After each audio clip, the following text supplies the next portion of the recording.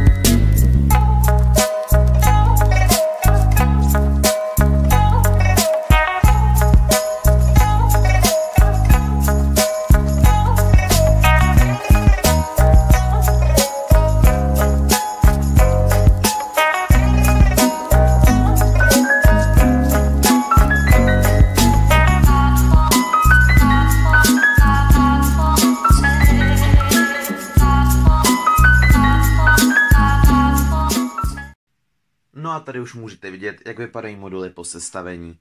Nejdelší dobu mi trvalo sestavit modul HZOM01, protože mi chvíli trvalo, než jsem dostal do ruky ten cvik, ale ve chvíli, kdy už jsem eh, měl ten první modul sestavený, tak ty ostatní nebyly vůbec žádný problém. A to dokonce ani ten rohový. Celková doba sestavení byla zhruba dvě hodiny.